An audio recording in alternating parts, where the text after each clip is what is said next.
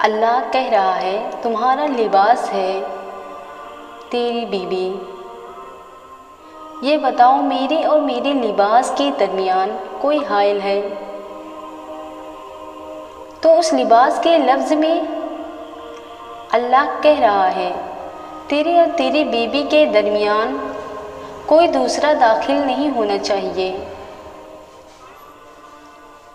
चाहे माँ हो, चाहे बाप हो चाहे वो भाई हो वह खाला हो, मौसी हो, जो भी हो, वो नहीं दाखिल हो सकती। लिबास क्यों कह रहा अल्लाह ताला?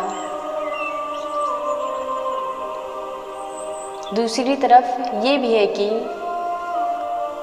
जाने वाली ऐसी बदतमीज़ बदजमान होती हैं और उसके वालिदैन इतने बेवकूफ़ होते हैं कि शादी के बाद भी लड़के को अपने कंट्रोल में रखने वाले वालिदैन अपनी बेटी के घर बर्बाद करते हैं।